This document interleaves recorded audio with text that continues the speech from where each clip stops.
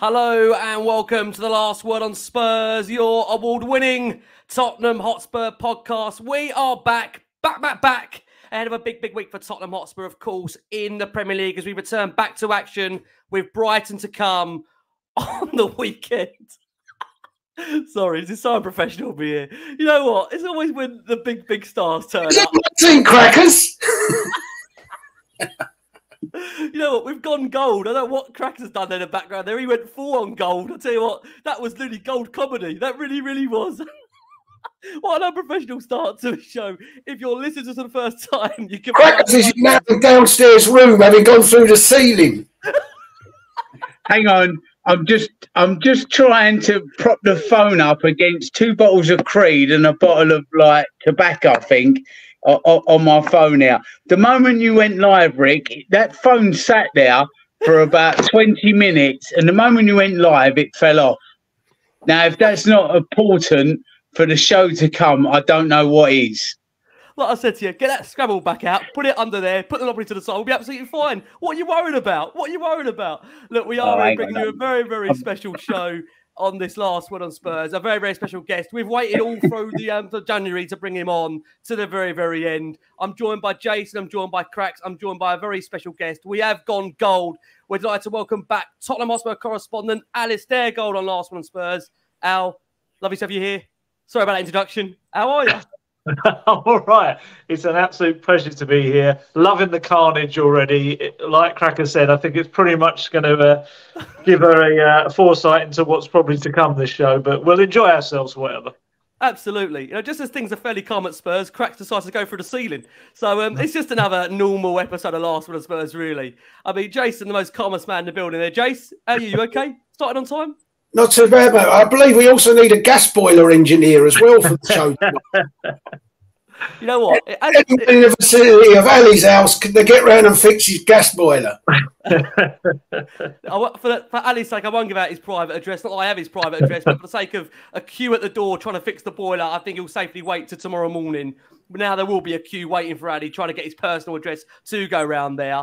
Um, look, on this show, of course, we'll be having a brief roundup of where we were in terms of the January window. Well, of course, Jason's favourite subject, I must have said on that point. We'll be discussing some of the players that are heavily the standout features of Spurs' season. We'll be discussing, of course, your questions you've had in over 50 60 questions for ali to try and answer don't worry al not all 50 and 60 are coming your way we've narrowed them down to a reasonable amount of 30 40 joking and we're of course looking forward to brighton to come on the weekend now look i'll be honest with you it's been one of those shows where beforehand we've had about ali's boiler we've had a couple of absentees that have come in very very late uh, firstly i have to give an apology out lee mcqueen the crazy instructor runner of this crazy epic train. So Maka has been, as you know, grafting all the time. He's out in Farnborough, I believe, at the moment, where traffic has haunted him. It's the first time cracks traffic's haunted Maka, right? Ever heard of that before?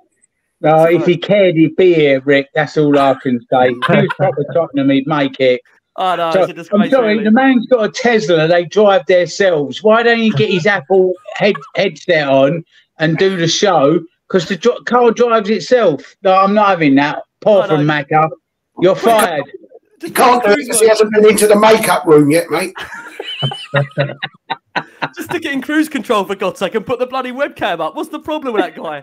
Listen, we wish Maka a speedy recovery. I say speedy recovery. He's, he's all right, by the way. Like I say, he's just on his way back home with us very, very soon. And Ricky Norwood, bless his heart. Ricky was meant to be with us tonight. And as those know out there, we're avidly voting for Ricky in Dancing on Ice, where, yeah, he's still there doing really well. Didn't do a Spurs, didn't crash out in the first round. He's hoping to go all the way to the final but not bottle it and actually get over a cup final. Fingers crossed. Now, Ricky, bless him, has sent us over a nice message for all of our viewers and listeners, which I'm going to play right now. So this is Ricky's message to everybody, of course, who can't be with us tonight. Ricky, over to you, my man. Hello, all you beautiful people from Last Word on Spurs. I'm sorry I can't be there tonight. Ali, I'm sorry. Guys, Ricky, all of the gang, I'm sorry I can't be there tonight, but it's just I'm training until late and I won't get home until way, way late. So um, it, it is Ryan Thomas in the background there. uh, yeah, so we're just here training, my friends, and uh, just want to send you loads and loads of love, all right? Um, Yes, so this week is musicals week and there's a lot going on. This routine is a lot harder than any other routine that I've done so far. But that's what they keep doing in this show. They just keep pushing. They just keep pushing you and they keep pushing you. Um, but it's going to be amazing. Hopefully, if we can get it together, it will be really, really lovely. Um, I've got lifts in it. I've got turns in it. I've got solo skating in it. So there's a lot going on. So I just wanted to thank all of you guys at Last Word on Spurs and all of the fans for supporting and for voting and for just being there. And also to Ali Gold and all of the family, thank you for supporting. Thank you for your votes and thank you for all the love as well, guys. Um, I miss you guys. I miss talking about Tottenham, but you know, we got to go to work, right? Um, also, big happy birthday to Cliff Jones. Big happy birthday to Cliff Jones, the man, the myth, the legend. Um, so yes, I hope he's having a fantastic day. Um, about Tottenham, we're having a great season, all right? From where we was to where we are, we're in a good place and there's good things happening. And not only do the players know that there's good things happening, but those that want to come to the club know that there's something special happening. So listen, all you fans out there, just keep supporting them. Keep doing what you normally do. Win, lose or draw, home and away. You guys are amazing. Shout out and come on you Spurs. There you go, the wonderful Ricky J. Norwood. And as Jason proudly there in the background says, the hashtag vote Norwood. Vote Norwood. Right. There you go, Ricky J. Norwood, bless him. We'll have him back on here very, very soon, Rick, as well as Lee McQueen. Go on, Cracks. Rick, Go on, Can I just say that a lot of people will probably go, oh, do you know what? Ricky Norwood, he's probably like that. If you met him in real life, he'd be horrendous. He's just being nice. Do you know what? He is, as you know, Rick, the, the nicest man you could meet. He really, really is a top, top lad. Like, you know, off screen, on screen, he is the nicest guy. So, uh, yeah, I really hope he goes far in the comp. Amen. Yes, I totally agree, Cracks. Echo those thoughts 100%. Now, Al, you know, like, like to, to ease you in gently here on Last Word on Spurs. So, um, this is just a message from Kanat Anson, one of our listeners, one of our valuable listeners, who says, Ali, love your show.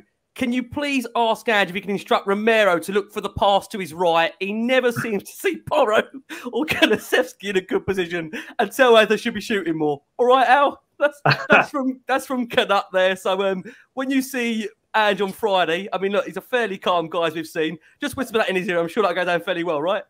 Oh, he loves a whisper in his ear. Yeah, he's just that kind of guy. He loves a just you know a little soft whisper in his ear. Yeah, massive fan of that. Um, yeah, yeah. I'll, I'll squeeze that in somewhere in the presser. Yeah. There you go, Kanat. Don't say we didn't ask Ali for that one for you. Right, Rick, easy. Go on, Rick. You know the problem is because he's got Van der Ven to the left of him. Yeah, he keeps passing to the Dutchy on the left hand side. That's the problem. You're going early. You're going too early. You just started. You've got to speed things up. Listen, Poor old Ali's like, shut up with the dad, up with the dad jokes. I did tell Ali, look, it might rival Guesty and Guest Golden Guest. This might do Cracknell and Gold. It's got a way to go. But it's early days here. We've got to be careful with what we might do to this show. But we've got to set the bar fairly low, Cracks, to begin with, because we go too high. We fly off the blocks. Um, our nice easy one to begin with here, a, a question that's come in. Uh, Saint Angelos, God, there you go. What a name that is. Saint Angelos says, Ali, what's the biggest change at Tottenham you've seen as a reporter since Ange has come through the door? People smiling. Honestly, people are happy. That's weird in itself. Honestly, that club towards the end of last season, wow, it was honestly you're uh, like out of wake. Essentially, it was just horrendous. Um, to be fair, Ryan Mason started to turn it around a little bit. I think he brought people together, but under Ange, it's just it kind of feels like a little bit way back. A certain manager who's obviously now at Chelsea um, got the place being a bit of a family, and that's what it feels like again. You can feel that just among the club staff. And you talk to the coaches, the academy. They all feel like they're part of something bigger now. Whereas the academy beforehand were like just felt like the most separated thing, you know, from Conte. I don't think. Well, I think we know about the academy and Conte and the under 21s and things like that. So I won't go all of that old ground. But yeah, just smiles and happy faces and a direction. That's the biggest thing, really. Mm. No, let's agree. And another just question about in Stephen McCullum says, Al, has anyone found out what Ange's cough is about? Is it a nervous tick on camera? Um, I think I think he used to have it at Celtic. Some people said uh, that I've been I've been told the reporters up there. I think because we often do the press conferences after a match, after training, I think he just destroys his voice. I think that's pretty much what he does. And then he comes in and talks to us for like half hour, 45 minutes or so. And I think it's all to do with that, to be honest. Okay, listen, you got house front and he's out here, and uh, just a final one before we do crack on to this. He says, uh, "Mr. and Mister says, does Ali City want to be a TV show movie critic? Is that what's next for Ali Gold after Spurs retire him into the ground?" Yeah, I think if I think Spurs will see me off completely, let alone retirement. I don't think there'll be anything beyond Spurs. I think it'll be gone. Um, I do like my movies. I do like my movies. I don't think I'll, I'll, ever kind of go into that sphere of work, but I do enjoy my movies. Maybe a bit of travel writing. Enjoy all that sort of stuff as well. We are loving those travel videos. I think I said to you, Al, my wife made us book a book a, a holiday on the back of one of your videos. So thank you so much for that. I won't say the cost what it cost me, but I will say thanks for that. Go on, Jace. I was just going to ask Ali. We, the, the clip of Nuno's press conference was uh, was online this week. Didn't it bring back wonderful memories for you? Honestly, the flashbacks I had were horrendous watching that. Uh, at least that reporter was just getting one word answers. I used to get told off. I was like a naughty schoolboy, wasn't I? It was just, uh, I think we see him. Is it April? Spurs play Forest. Yeah, at home. Yeah. So that'll be my reunion with him. I know one of the um, former Spurs reporters, Jonathan Veal, now covers Nottingham Forest. Uh, and he says it's just, it, honestly, he's just like step back in time. He said he's a lovely guy, and he will come before a press conference. He'll come out and say hello, shake your hand, make a real big fuss of you. Soon as the camera turns on, no, yes, you cannot ask me that. Goodbye. Honestly, it's just horrendous. Nine minute press conferences. Oh man, I tell you, Ali, what. Ali, what's what's the biggest telling off you've ever had in a press conference, or the biggest one you've ever seen? Um, I've, I've seen a few people get a few managers get quite angry with with journalists.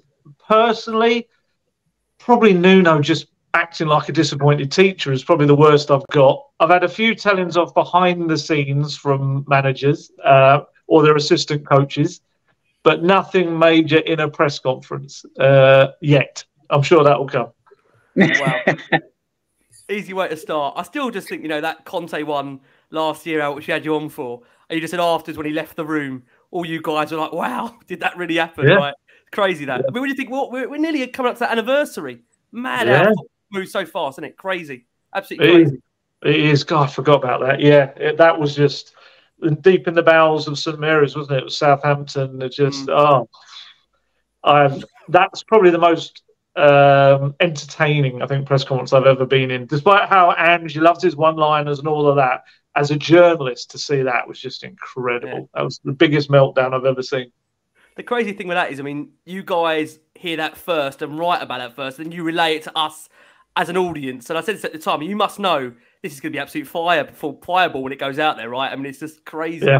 Yeah, and the Spurs press officer kind of came back in the room after the press conference, and he he looked like you know the world has just suddenly fallen on his shoulders. He just knew like, wow, there's nothing I can do about that. There's no no attempt to tell everyone in the room, oh, you know, oh, I'm sure it wasn't that bad. Is that he, he, knew he knew that was just that was essentially Conte saying farewell um, in the biggest, grandest style.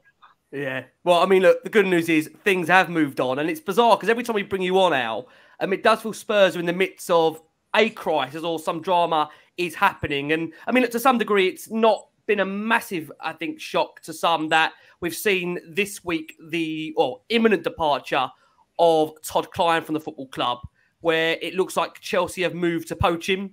Um, again, it may bring back memories of I think you said on your video, Al, the likes of Frank Arnesen back in the day. I mean, look, it is obviously a different kind of role. I mean, there's no getting away from it in terms of what obviously Arnesen did to what Todd Kline did at Spurs. But um, we understand obviously he'll now complete a gardening leave period and then join Chelsea on the completion of that, where he could be given the title of president of business, which was vacated by Tom Glick. I mean, your initial thoughts on that, Al? The fact that he departs the club and the fact that I mean, the one area that he was meant to come into was to, of course, get those stadium naming rights, which he leaves without doing what's your thoughts on him departing the club at this time or imminently departing the club? Yeah, it's a really interesting one. Obviously, can't really, despite I know I did it, comparing it to Frank Arnesen, more so where the destination is. But in terms of affecting the first team, yeah, Frank Arnesen was a big jolt back then, suddenly going to to the rivals. Whereas with Todd Kline, it's a really interesting one. Depending on who you speak to, you get a completely different narrative about him. Um, he was some people he was quite popular with, um, and he did, in terms of bringing in money into the club, he played a part in the Getir deals, the Cinch deal, the Ineos renewal. He had a little bit to do with the the F1 drive karting thing that's underneath the whole Formula One partnership. So he did bring investment into the club and partnerships. However, he's also, I think, upset a few people in the club because he did a big revamp of his whole department and a lot of kind of long-serving people, uh, people that were very popular within the club, left. There was quite a high turnover of people. Whether it was connected or not, I don't know. But even recently, the partnerships director, Fran Jones, who a lot of us journalists kind of knew from our times on the tours, he would always sort those. He'd been at the club 21 years. He left last month as well. So there's been a lot of kind of upheaval um, in his reign, and, and, and his reign is like, like he's the king or something in his era at Spurs. Um, and there was some speculation that he might have gone anyway at the end of this season. Um, so I think there would certainly be some people within the club that won't probably be that sad to see him go. But there will be some people that feel like he had brought in a fair whack of investment into the club. He did bring some talented people into the club as well to replace those who'd left. But as you say, the big overriding thing was one of his key briefs was to come in and bring the naming rights, as he had done at the Miami Dolphins with the uh, Hard Rock Stadium there's a little bit more to that, I would say. I think to kind of chuck that all on him is a little bit tough. You know, it's something that the club of and Daniel Levy's come out in recent last year or so and said the club have kind of lent more towards just having Tottenham Hotspur Stadium because of the massive financial benefits they've actually found from that, globalizing their name in different markets.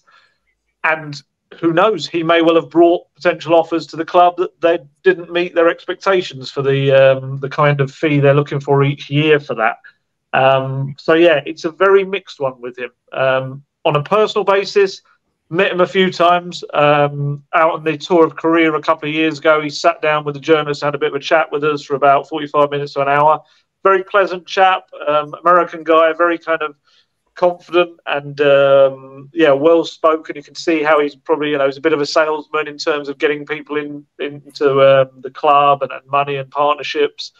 But yeah, he will leave a kind of a bit of a yeah a divided um, opinion in his wake. I think. Interesting. I have a Jace. Jace, over to you, my man. Do you think Spurs will replace him? And, and, are you surprised that he's gone to, to Chelsea? And when when do you think he'll start there? Um, they're, they're, looking to replace him. That's certainly a thing. Um, in terms of, we're not entirely sure how long the gardening leave is going to be. At the moment, that's one of those things that's like a contractual thing. So no one's really letting that out right now. I'm sure it will emerge sooner rather than later. But at the moment, that I think it was decided today. So they're kind of keeping that a bit close to everyone's chest. Um, and then Chelsea, I mean, good luck to him. I would say. Um, that's the one thing about Tottenham. Uh, whatever you want to say about the club, they're a very stable financial club, and with a massive new stadium to sell, or newish now, it's five years old, isn't it? Almost. You've got a lot to sell there as a as a sales type or a partnerships head. Whereas with Chelsea, you know, we know the issues that are going on there, the financial fair play stuff they've got to do. They've also got their own stadium stuff coming up, whether they redevelop or whether they build a new stadium um, or, or, whether it's even in the same location. So, yeah, like I say, good luck to him. That, that's a that's a huge project to take on. Um, I guess an American going into a very American uh, business right now with their owners, um, maybe it, I don't know whether it will suit him more or less, but it's a big challenge for him. Um, and yeah, and Spurs will replace him. I think the one thing you can you can say is that Chelsea are desperately in need of extra revenue. Yeah. You know, when you see that they're, you know, trying to sell Broja and trying to sell Gallagher because that's the the homegrown jewels, if you like, to to maximise their profits so that they can can meet the uh, the FFP on PRS or whatever it is rules. So I mean, I'm not in the least bit surprised. They're certainly not going to have any Champions League football next year again, are they? There's there's no way they're going to make make Champions League football. So, you know, the money that they spent and the, the need to get some back. And we still, of course, don't know what's happening with the um, with the case for them against Hazard and Willian, and, you know, financial problems with the, the, the fact that Chelsea never paid for those transfers and things like that. So, you know, I'm not in the least bit surprised they've, they've turned to try and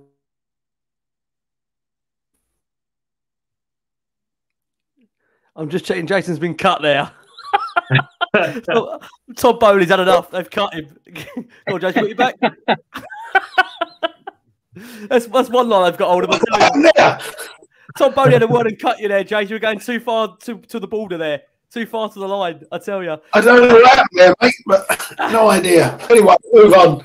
Cracks, I come over to you, my man. What do you make that news, Cracks? Surprised by the fact that we've uh, seen another one of our staff after all these years depart potentially for Chelsea? Yeah, well, I mean, you know, a few people that I speak to, um, like like Ali said, some people said, yeah, you know, he done this, this, and this, and there was other people that I don't think will be going to his leaving party, to be honest. So, uh, but I think if you're in that type of position that, that he had, I think you're always going to make some friends and some enemies within an organisation. I think that's just the nature of the role. Um, but like uh, Ali said, going to Chelsea, uh, you know, I don't want to turn this into a Chelsea thing, but he's got he's got his work cut out there because um, you know Chelsea need to develop that stadium, which is what he's going to be brought in to do. And one of the biggest things that Spurs had was the logistics of things like storage, buying up extra land around the ground, which wasn't which was a logistical problem for Tottenham in in Tottenham. Now move that problem to Chelsea and trying to buy real estate around the ground and the logistics of actually storing stuff, you know, because um, that you know this is what comes into things like stadium development. Um, it's going to be a huge, huge problem for him. So you know, uh, I wish him no luck in the world getting it over the line because it's Chelsea. But he, he you really have got your problems like around the area of uh, that area of West London. So, uh, so, so, so let's see. But look, you know, a few times he reached out to us on the pod and was, look, you know, spoke to us and said that he enjoyed what we put out as a podcast and that. So he seemed a pretty affable chap, but he's gone. New man or new woman's coming in now. Um, so we'll we'll see where that takes us. But I wouldn't think that Tottenham are going to have any problems replacing him with somebody coming in because we just look such a um, rich prospect at the moment for somebody to come in and an exciting project. To be honest, you know, I know we all have our issues with the club, but as a, a project over overall, I mean, it must be uh, anybody that's in that field of work that Todd Kline's in must be absolutely licking their lips to come in and get involved in, in, in that stadium and everything going on. So yeah, I would think there would have probably been a big queue round the block of people from around the world with that sort of expertise coming in to to, to take the job. And you know, love or hate Daniel Levy and the board, they're no fools. They'll fill that position with somebody like very, very like probably best in class in that field. Only because you put it up, uh, cracks with regards to Todd reaching out. I mean, he's been very, very complimentary, but I would question his taste now, given he's going to Chelsea. Well, there you go. You can't have everything, right? yeah, well, you know, there was a former manager that made that mistake. Yeah. So let's see if that continues. Absolutely. Uh, Al, one question I do want to ask you is I mean, again, I think it feels, and you'll know better than me on this, that in the background they've been fairly relaxed to the fact that they've not been desperately pushing the stadium naming rights. Now we had some links to Google. We've had again some links to some really high profile brands out there. But I think one of the cases that obviously having the Tottenham Hotspur name, obviously throughout Europe and obviously around the world and America, that hasn't been a bad thing. So I mean, how it's hard to put a time scale on it, but how desperate do you feel the club are to really nail a stadium naming rights deal in the near future, do you feel? Not at all. Honestly, I don't think they're desperate at all. And I think, to be fair to Daniel Levy, he's come out and said that. I think to begin with, there was a real fixation on it, you know, and, and we were in the media as well. And I think the fans were, you know, why hasn't this? I mean, the stadium, like I say, it's been half a decade since it opened. It was being constructed before that. Um, and I think we're at a stage now where they've seen the benefits that have come in from the name of the club being on it, especially you know the NFL. I mean, even down to silly little things like American um, youngsters in America will play the Madden computer games like the rest of the world probably plays FIFA and stuff. And in Madden, you know, you've got Tottenham Hotspur Stadium like it is in FIFA. And it's just the club's name is out there.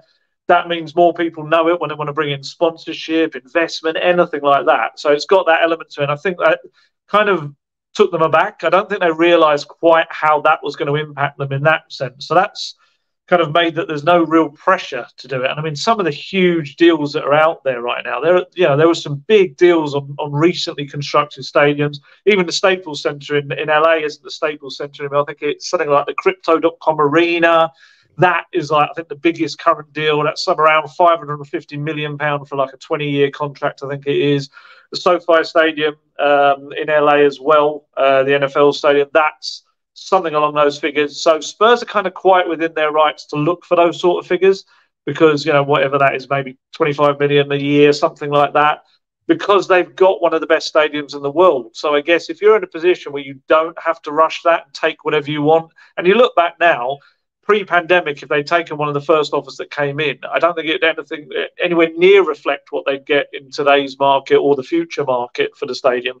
And you know, as much as I know Spurs, like certain football fans, hate to hear this. You know, it is the place where the NFL is played. It is the place where you're getting help, uh, world heavyweight title fights. It is the place where you know Gaga, Beyonce, Pink, whoever do their concerts. It is the it's becoming the go-to place in London for all of this stuff. So it's it's an easier sell as well for a name. Well, I say easier. It's been five years now, but it should should be um, logically a, an easier sell to someone to get the kind of price they want. Um, but yeah, no desperate need to drive that through anytime soon. They'll probably announce it tomorrow now. That There's been some, uh, It'd be so Spurs, wouldn't it? the Ricky Norwood Arena or something, you know, with all his extra fame on the ice now. Oh my god! you love that. No, you know, uh, Rick, I think Ali's right. You know, just uh, if it's twenty five million pounds a year to call it whatever stadium, at the moment calling it the Tottenham Hotspur Stadium, when you look at some of the blue chip brands that have been now associated with the club, like Beyonce, you can't like it's it's baffling the worldwide reach that somebody like Beyonce has, and you only need her to mention from her own mouth that she's playing the Tottenham Hotspur Stadium. I mean, that the, the club will have a team of people that turn that sort of mention reach into a financial um, they'll do an equation. Well you know just by the nfl having it associated or beyonce associated if somebody like taylor swift i mean we, we, we laugh at these things but taylor swift actually um, had an effect on the American economy when she toured. She actually upped the gross domestic product of the whole country. So these types of brands that come in to the stadium with the stadium named after the club actually do have a financial reach. And I know it is probably a lot of uh, fans that are curling their toes at mentions of all this, like the NFL and the racetrack and Beyonce. But, you know, if you want shiny new players to come into the club, you've got to have shiny big money to back it up. And, you know, mate, you know, I, I, still dream of the days of Johnny Pratt and Terry Naylor playing and standing on the shelf. But I also get that football's moved on. Now it's all about finance and business. And I can even see Jason wincing now up in the up, up in the top corner. But that is the realities of, of, of, of football today and the football industry, you know. So, yeah, so, you know, just keeping it as a Tottenham Hotspur stadium is probably worth more to them than the 25 million pound a year than to call it, you know, the Ricky Norwood Dome or something. It, it, it really, it truly is. Yeah, I'm thinking for the fear of Ricky of Al being aggregated there for the Ricky Norwood Arena. when you when you went crack, I, I, think Ali's right. It might be the Ricky Norwood Arena. I'm thinking, what's going on here? Go on, crack. Ones, the ones that complain most about about things like that are the ones that are always tweeting, just pay whatever they want, pay them whatever they want, pay the club whatever they want if Lyon won 125 million for some nondescript right back, just pay them. Just pay them. The fact nobody else wants to pay more than 40 million, just pay them. Just pay them. So yeah, they're the ones that be uh, moaning. So I'll see you down at Taylor Swift Stadium on Saturday, Jace, yeah? Where, where are you going to be sitting? Not me, mate. Not me, mate. Mangala out in Bangkok Stadium, mate. That's, that's I hope it stopped raining at last. I'll say it. Jason, on, the, on the point of um, just Kline going to Chelsea, you know what's interesting? I know obviously Chelsea are advancing the FA Cup as we record here. Um, you know what? Again, Chelsea, the situation that Kline's walking into there, as you guys have said, you know, you hear reports this week that Chelsea fear sacking Poch would put them in breach of financial restrictions. It would take them more than 10 million to dismiss him and his staff. I mean, like the guys have touched upon there, Kline, he's going into a really, really difficult nature of a job there when in comparison to Tottenham financially, you are going from one degree to complete another, right, Jace? And instead of a club like you, he's got a club like Astrid Wett and Rory Jennings to, oh. to look after. So that's even worse for him, isn't it? He's unbelievable, this guy. He's unbelievable, this guy. What are you doing to us? You're bringing down the mood here. Look, what we are going to do, we are going to go for our first break of the show for our listeners and audio. There's over a thousand plus of you watching us live, as always. Thanks so much for all your support for Last Word on Spurs. I'm joined by Jason McGovern. I'm joined by Richard Cracknell, bless him. I tell you, crackers over there on the mobile. Um, again, I'll just repeat this. We've lost Ricky J. Norwood to the ice. Not literally, he's not in the ice, but um, he's got an extra session going on where we've lost Ricky. And Maka has been beaten by the traffic. It is the last word on Spurs. You never know what's coming your way. And we're joined by, look, we have gone goal. We've got Alasdair Gold back here on Last Word on Spurs. Always a pleasure. Now, I'm going to bring it on to Jason's favourite subject. Ugh. One that you never see Jason around in January for, nor Ali on this show, might I actually say, because we always get Ali on afterwards, and that's the January window. Bit of a roundup. I mean, look, interestingly, our Spurs were one of, if not the busiest uh, Premier League club during January, where many stood still, spurred, Spurs sprung into action. Uh, Timo Werner, of course, the first over the line for Tottenham on a loan from RB Leipzig until the end of the season, with the option, of course, of a perm. That was then followed up by Radu Dragusin, where Spurs had a fight to get him over the line, but they did manage that despite Bayern Munich's clause towards the end of that deal. And then, of course, on that final day of the window, Spurs announced the signing of Swedish youngster Lukas Bergvall. And you can tell me if I've got that pronunciation right or if that's something we'll have to learn together in these next however many months we've got until he comes. But um, thoughts overall on the incomings of the window for you? Yeah, good. I, I think, um, I mean, just getting everything done early, the main kind of priority signings of, of Werner and Dragusin, that was what he asked for. Um, and you, you, you know, if you can back your manager in terms of getting what he wants through the door um, as early as you can, help them settle, get them involved. You know, Werner's what two or three assists already. He's already played his part. Dragusin will. Um, he needs this kind of settling in time as well. So those were two big signings. And for me, it was just the fact that the amount of outgoings was incredible. You know, all of the talk, uh, this expression that people always come out with, or certain fans, the deadwood, get the deadwood out, and all this sort of stuff. If, you, if that, that's what you're after, that's what that window was. My goodness, you know, uh, Guesty and I on our website, we, we do a, like a loan roundup each week is now 13 players out on loan. It's incredible um, how many they've claimed. And, and a lot of those, you know, or, or, a chunk of those, especially the high earners, are not going to be there next season. You know, the likes of Eric Dyer and even Perisic, mm. they're loans that will become permanent deals for them. Um, so, yeah, I think Spurs, you know, we talk about the revenue they were bringing in. And I think that helped them move swiftly and decisively early in the window when other clubs were hamstrung by. Sorry, I don't want to use the word hamstrings or hamstrung right now. Um, but, you know, they were a club that weren't restricted like every a lot of the other clubs. Um, and to get two first team signings in through the door, I don't think many other clubs did that, if any. Mm, actually yeah. get two potential starters in through the door. And and Lukas Bergvall, he's um, I mean he's a terrific talent. He's very exciting. Um, had a kind of a big long chat with uh, Peter, uh, Peter Kisfaludi is his name. He's uh, coached him since he was nine years old and got a real kind of insight into just how amazing this young man could potentially be. You know, there's still a lot more to be done, and, and we've seen kind of some of these young talents not quite make it in the Premier League, but he's got everything going for him that he potentially can. Um, and yeah, I thought it was quite a decent window. I thought the squad looks more like a Postecoglou squad now. Um, and I think it's it's a it's an ongoing process, as he said. You know, probably two, three, four windows at least. It's going to need to get it to where he wants it to, but certainly, yeah, it, it feels like it's got his fingerprints all over the squad. And I think also credit where you know everyone gets very excited about Fabio Paratici and, and he's the you know what's he cooking all of this stuff that people come out with all these little kind of memes and, and stuff. I think a lot of credit has to go to Johan Lange as well. Johan Lange has mm. come in there. He's only been in since November, and the planning and preparation they did for this window was superb. You know, Postecoglou, I think, has been delighted by Johan Lange's input into the club so far. Uh, Lange brought in Werner. That was a deal that he really pushed. Bergvall is a deal that he's really worked on as well. And as soon as he came into Spurs, pushed the club that they really needed to get involved. Dragusin, yes, he's a former Paratici player, but Lange went out and watched him a fair few times in December to make sure he was also a Postecoglou player. And that was the only reason they went for him was because Lange agreed and Postecoglou agreed as well. So yeah, I thought they did really good. I, I actually would say probably the best window out of any of the clubs for me in terms of what they actually got done. I Totally agree. Go on, Jason, let you come in there.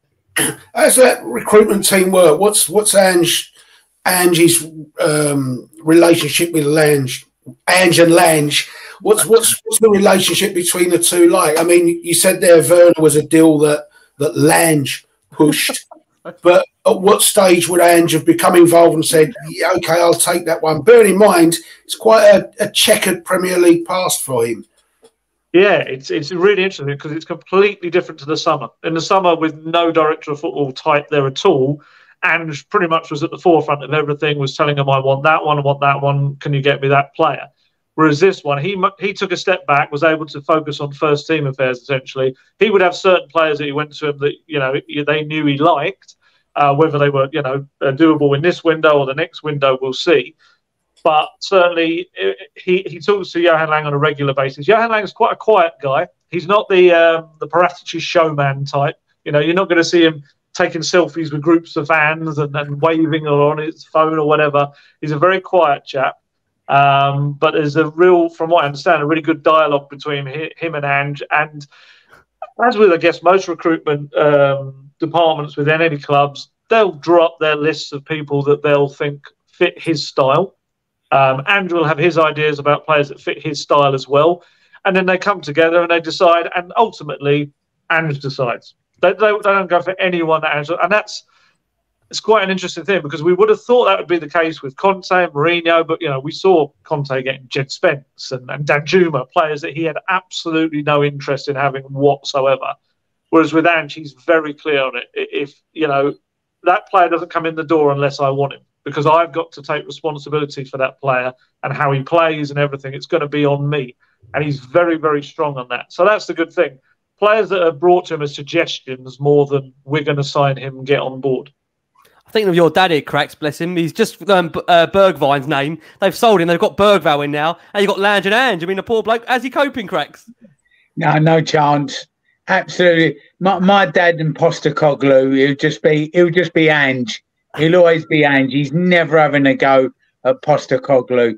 He's like Alan Brazil at breakfast on Talk Sport trying to pronounce some some Greek names. It's just it's it's not going to happen happen for him. But um, no, what um, Ali was saying about this window, you can see that Premier League clubs, especially, have properly had their wings clipped with FFP. Now it's coming. There's uh, it was a little bit of a case of um, Premier League clubs being told, listen, regulate yourselves, or we're going to come in with some laws and regulations that will sort you out. So, um, you know, they're, they're trying to all get their house in order before these regulations and a regulator uh, comes in. So, I think over the next two or three years, we could actually be in a real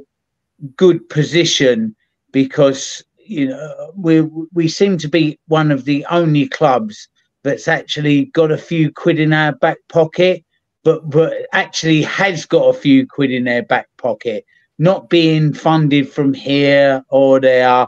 Um, you know, I don't want to get into the whys, what, and wherefores of potentially any cases coming up. Um, Mainly because we can't afford it on here. no, exactly. But we seem to be a club that genuinely now is generating their own income from all the things we spoke about before with concerts and and you know the go-karting tracks and all these things make good money and the NFL I mean um, when we done we done the live show from Beavertown that time Rick didn't we on the NFL weekend yeah. and I popped over to the club shop just to have a little look round at the NFL stuff and I mean if you think soccer football is like there's a few quid in that. Take a look at the NFL and add three noughts onto the end of everything shirts, the merchandising, the money being spent. And that's now coming into the club. Even the beer at half time, um, you know, it, it goes up in price to what we have to pay. It's a huge revenue generator. And um, again, you know, like I said before, you might not like that, but that's the way football is now.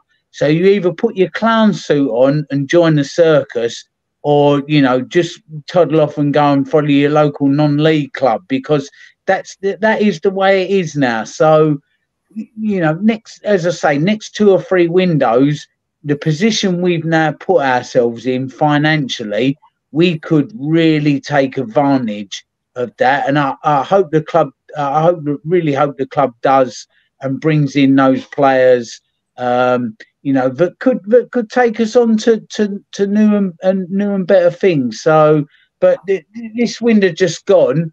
I, I think it was terrific. Like Ali said, the players that went out, it's not really players in.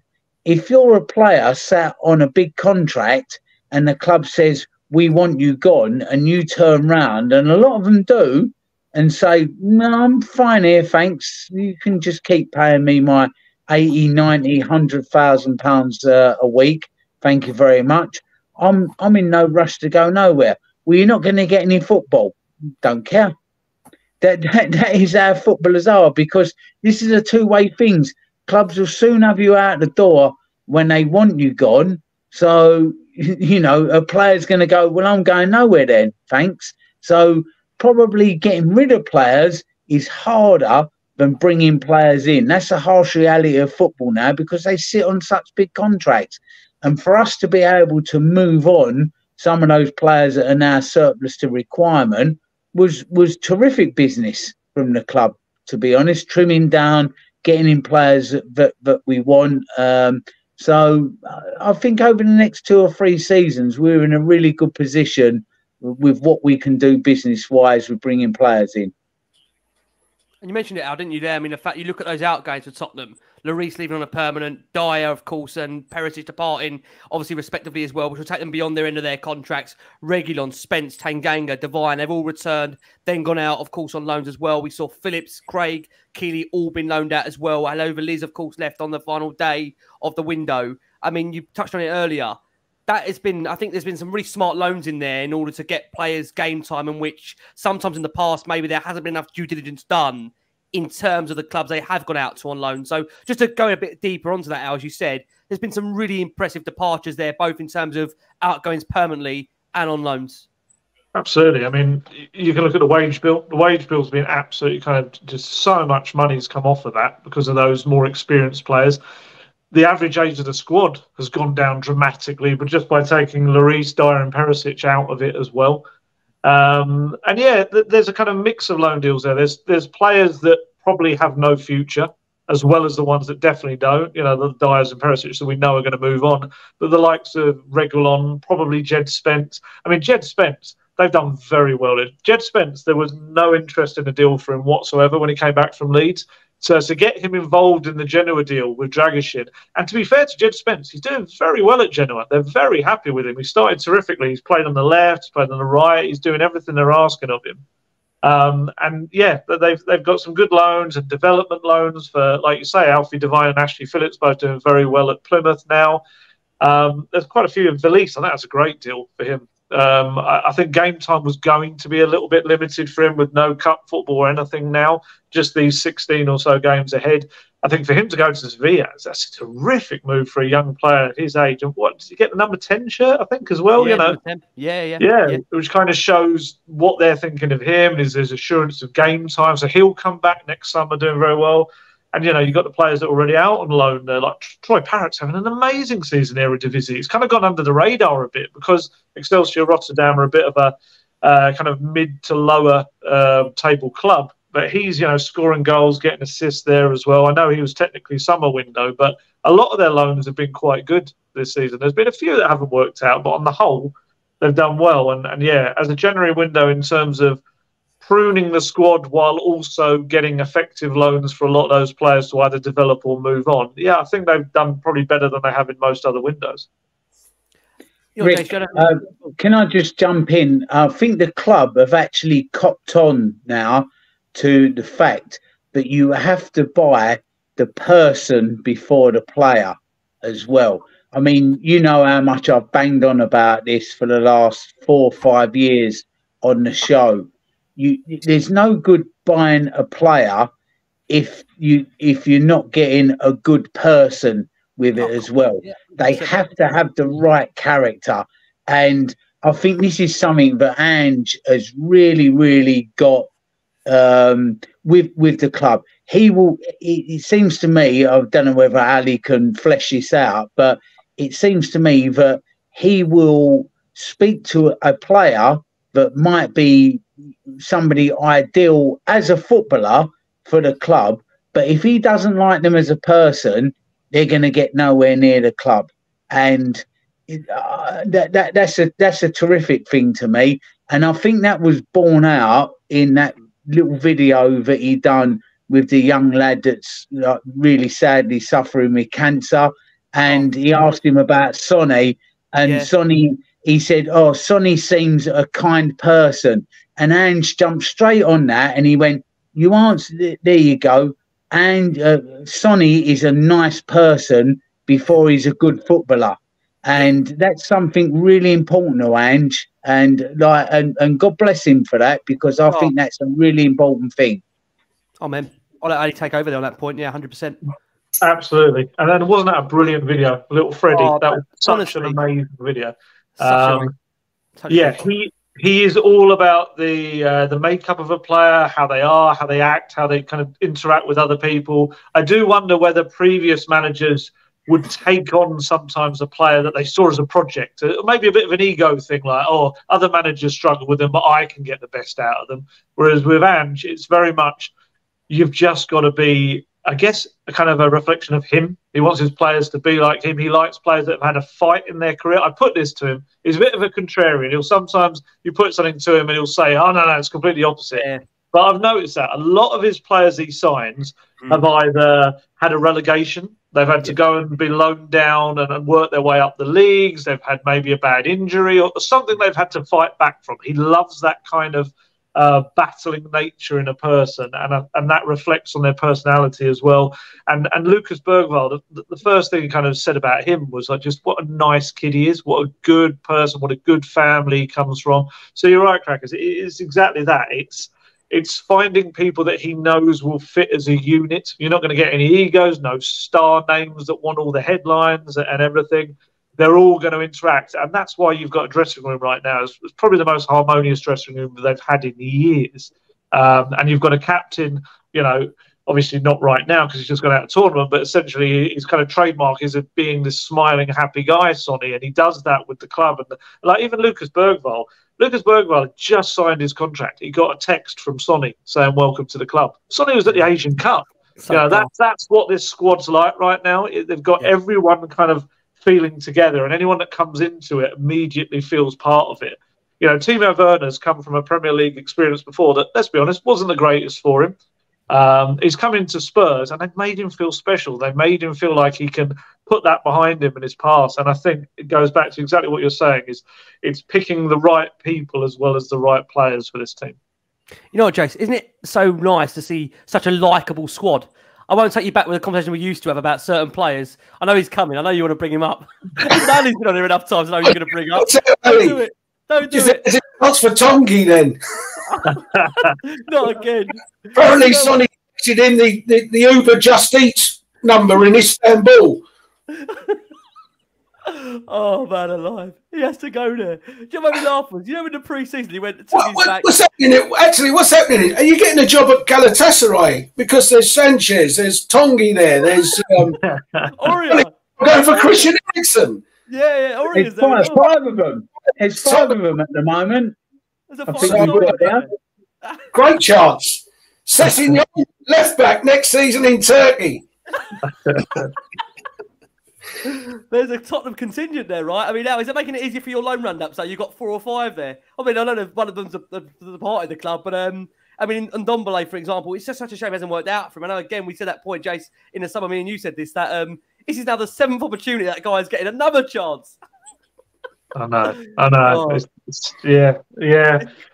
Uh, it's all down to Tanguy, isn't it? Really, he's he's the one that's got his guide his career and where it's going to go. But yeah, I mean, he's he's getting like two minutes, three minutes a game at the moment. That's all he's getting for them. Can I ask you about? It's a shame. I mean, seriously, yeah. it's a shame because the the talent in him. I mean, when when Gareth Bale said that that thing, that you know, most talented player at the club is Tanguy, and I, I said it at the time, or the first couple of years of it, he was the player that we most needed Mm. You know, he was the player that should have been the, the Moussa Dembele, should have been able to bring the ball off the back four, drive through midfield with it. We've since had to sign Bissouma. You know, Pap Sarr's one of those types of players. But Tanguy was everything that we needed as the player profile.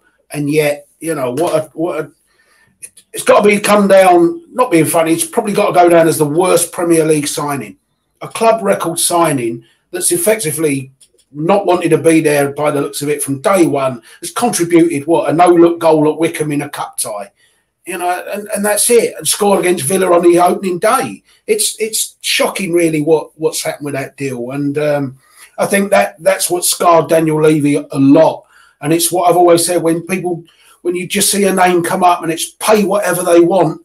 Well, Daniel paid whatever Lyon wanted effectively, and look what, what's happened. And I know there'll, there'll be well, you, you, can't use the Ndombele deal for everything, but it would leave people at that club scarred for sure, thinking what happened there. It's and it's it's a shocking deal for the club, and you know when you look at that whole window, it's just a disastrous window that set us back years, didn't it?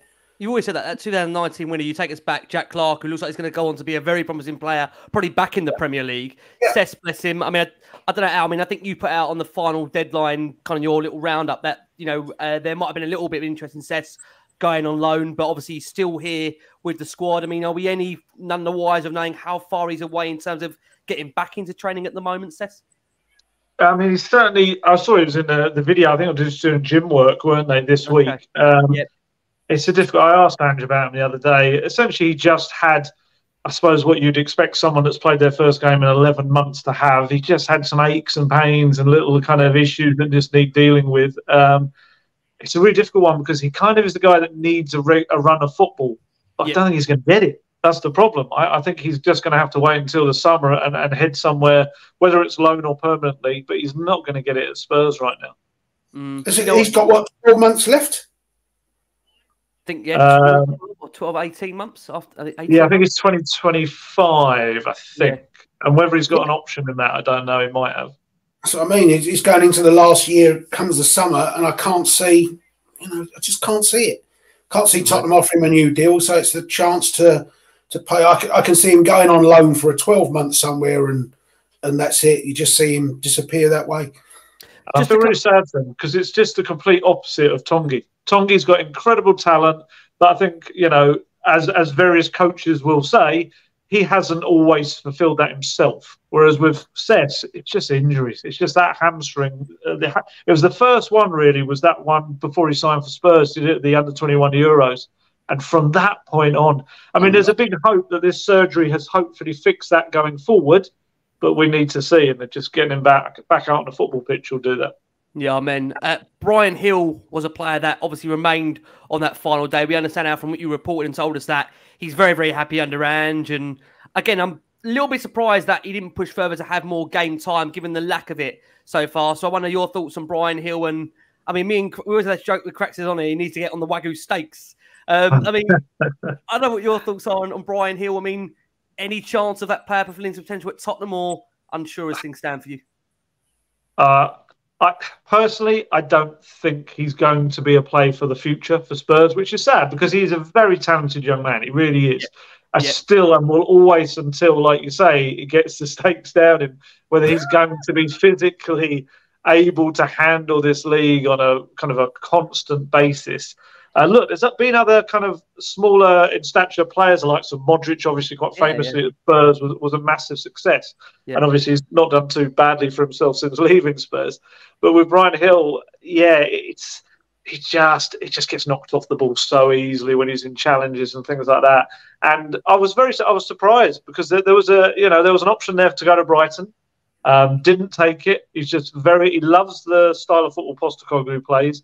I think you can't probably um, underestimate how settled he is within this group of the Spanish speaking players that they've got there. It's a real kind of uh, friendly little group. Let's put it. That. I think they do everything together. Even like today, they had a day off, and I think he and Pedro Porro were in Canary Wharf playing padel, the sport together. You know, they're all very, very tight knit.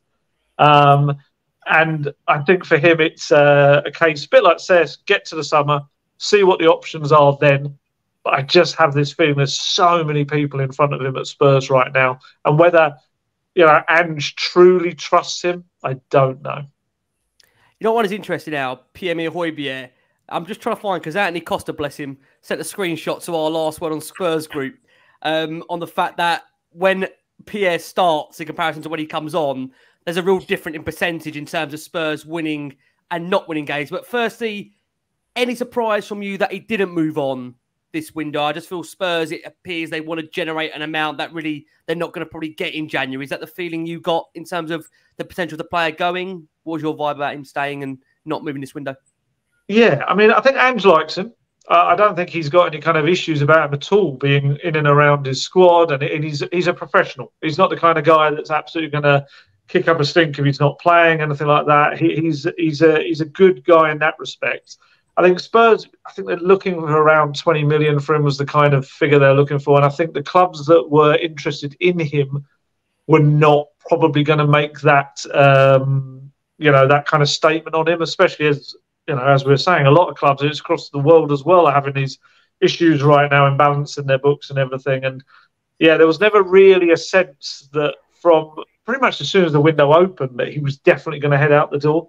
Um, I do agree with the I think he's better coming off the bench than when he starts for Spurs nowadays. Um, someone made the great kind of comment. I can't remember if it was on social media or under one of my videos. He's a little bit like the guy in, like Harvey Keitel in, in Pulp Fiction. He's the, he's the guy that you send in to clean up stuff after it's gone wrong. And he's exactly like that. You take him off the bench and he does a really good role within a game and sorting things out and fixing it. But if you put him in from the start, you kind of it doesn't play to his strengths in the Postecoglou system. I don't think at all. Um, and I do wonder if Bissouma can get back, get fully fit, get sharp again with Bentancur, Maddison, and Sarr. I don't see Højbjerg even getting in, you know, anywhere near this kind of starting lineup for a while, as long as there's no more injuries, which is Spurs, so it could well be. Um, I think again another one. Is, we talk about this January window. I think this summer one's going to be quite a busy one in terms of a few players that have kind of been in and around the club for a while heading off, and, and some new faces continuing this revamp of the squad. And Højbjerg, I think, will be one of them. Mm, it's interesting. Go on, cracks. and see you biting to come in there. Mr. Wolf, that was That's in uh, in Pulp, Pulp Fiction. Harvey Keitel, wasn't it? Or the Dustman, as we called him. So, uh, but yeah, I, I, think you're right with uh, Højbjerg. I think he might be a little bit Stefan Freund, to be honest, but somebody that gives you everything they've got, but everything they've got not quite being enough. And I'll never ever diss a player that's giving you everything, even if that isn't enough, because you can't ask any more than that, can you? From from somebody, if they come in and they give you everything, you can't get no more from them, can you? But sometimes you you just you do fall a little bit short, and uh, I think he has his limitations. I think Ali's right. Coming off the bench that last twenty minutes, he can come and shore things up, but you you know stats and stats and uh, and that's that. You know that that's that stat. I think it's something it's crazy, and it Rick. It's about seventy five percent, in it when he starts. Thirteen percent win rate when he wow. starts, compared to seventy two percent when he doesn't. That's crazy, isn't yeah, it? Yeah, that is crazy. Yeah. That's that, that is quite damning, yeah. Even yeah. if you allow for a few whys, what's, and wherefores within stats, because they mm. don't always tell you a full story. Yeah. That, that, that you know that that stat slewed in that in that percentage, mm. you know, is telling is telling its own story, isn't it? Yeah, I think in fairness, you, you could partly say he started games once we started getting big injuries. So, you know, when Van de Ven was missing and Maddison was missing and this one was missing and Bentancur at that stage wasn't fit and, and you know, we had Davies and, and Emerson Royal at centre back. Well, you know, it's I don't think you can just pin that on and, and, just use taking that in isolation and just say, there you go, when Pierre plays, that we've only got a you know got sixty percent less chance. I mean, you know, he he started the games. I just think that's that's a little bit uh, unfair on him to to just chuck that stat at him. In fairness, I'll let you take it with Costa, Jace. Yeah. no, I'm really arguing about Spursy stuff. Oh, don't even get me going on that stuff. Don't get me going. You'll be hours in that group. Right. What we are going to do, we are going to go for our next break of the show for our listeners and audience. About 1,500 plus of you here watching us live on this Last Word on Spurs. Again, thank you so much for all your incredible support for the show. We are battling live football where it looks like Mauricio is going to keep his job for now. Chelsea advancing in the FA Cup. For those that wanted to know that, it's not last one on Chelsea just yet. I'm joined by Jason McGovern. I'm joined by Richard Cracknell. I'm joined by, look, Ali Gold. We have gone gold. A reminder just for those that are asking, where is Ricky? Where is Maka? Maka beaten by the traffic, Ricky on the ice. So again, not literally just on a late routine. Right, we're going to speed things up in Jason's favourite player that never actually joined in Adama Traore. I won't ask Ali to do the analogy again of what it was like when we were going to sign Adama. Do you remember that, Al? That, that analogy you told us about us potentially signing him? Can't even get a game for Fulham, can he? Can't even get a game for You don't remember the analogy? About, about the fact that it was along the lines of the fact that you know you get all excited and right into the end of the end product you think oh, uh, yeah takes, takes, takes, the hood off. Yes. Yeah like a scream movie or something. Yeah that was That's it right. yeah. Yeah yeah. This is the first winner Adama has not come up for Tottenham or the last couple. It tells you how far we've moved on right? I tell you we've moved on from Adama yes. um Spurs' current form we're going to try and tie this in with some of the players and are looking to head to Brighton. Um obviously you know what? Going into Everton, there was such a feel good factor and vibe out that, of course, rubbed off from the end of the January window. That um, I think going into Goodison, although Everton are in a bit of a false position where if you consider the 10 point deduction, take that off, they'd probably be mid table as you and Guesty, I'm sure. Well, you know, we always hear the fact that you always uh, mention this fact with him, and it was the Rob Guest derby, which he was in attendance for as well. For those that listen to the Golden Guest pod, he was enjoying it off on a break um, in terms of not being on air. That, you know, a game where Spurs, of course, they obviously led twice, didn't get over the line in a real frustrating game where, again, there is this narrative around the fact that Spurs are giving away some real cheap late goals. I know, Jason, you argued the fact with me on the weekend that not all those goals have led to games that Spurs have lost. They've been well, goals conceded that have come not really at a point where they've cost us points. Jace, do you want to come back on that point? Well, I, I just think, you know, nobody was happy with it because it's no. two points down the drain. And and it's oh it's it's so Spursy to concede these goals late. The the eight goals we've conceded have cost us five points because we were five one up at Burnley when we conceded. We were two one down to Chelsea with nine men when we conceded two of them. So you know they haven't all cost us and we've actually picked up six points in injury time goals ourselves. But mm. the, the, thing is, it's it's so Spursy that we've dropped these five points. And apparently, I'm told you can't win the league or do anything if you concede these goals. But Manchester City have dropped six points with injury time goals, more than Tottenham. So is it Spursy or is it actually Manky? Because they've, they've conceded more than us.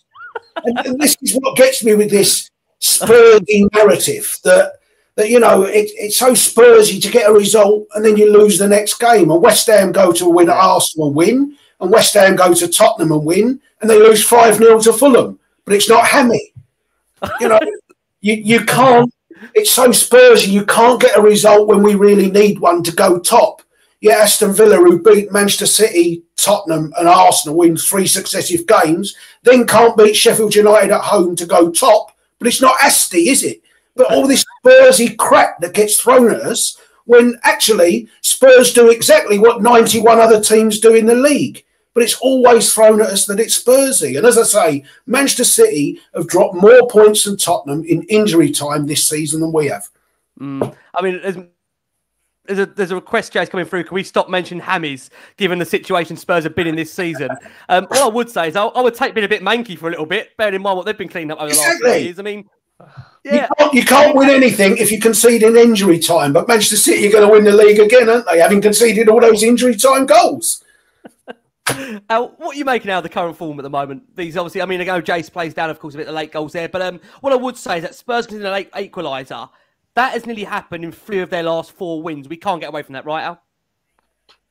Yeah, I mean, I, I do think people are going a little bit overboard on the form right now in terms of that they've lost five games all season in the Premier League. It's five out of 23 games. It's like, I really don't think, you know, some people kind of almost making out there's a mini crisis right now. You know, they haven't really kind of lost that many games. You know, it's more these little draws, I think, that are probably kind of annoying people. But I do think, I think the clean sheets is definitely an issue. I think that is something that needs to be sorted. You know, there's been so few. Vicario you know, talking about five losses, he's also only had five clean sheets this season in the Premier yeah, League. Great, great. Um, I think he's only had one since October. I think it was the Forest game um, as well in the Premier League. So that's got to be fixed. I think I agree with a lot of what Jason's saying about how a lot of teams are conceding late on. I absolutely understand that. But I would say, obviously, you know, Spurs having conceded more goals after 90th minute than any other team, and it's the most at this point in the season they I think they've had it in the Premier League these eight uh, late goals. So it is it is an attention thing. It is a concentration thing. I do think it's something that Postecoglou won't be ecstatic about, and he'll want to kind of try and get out of the game. I'd absolutely take the point that a number of them were when they were kind of leading in games, but also that's also really annoying for a defence that is trying to get clean sheets and is trying to build its, um, I guess, its unity, its uh, shape, its structure, whatever you want to say. So yeah, I would say for a team in transition right now, a team that is being built kind of before our eyes, that has had a mishmash of players.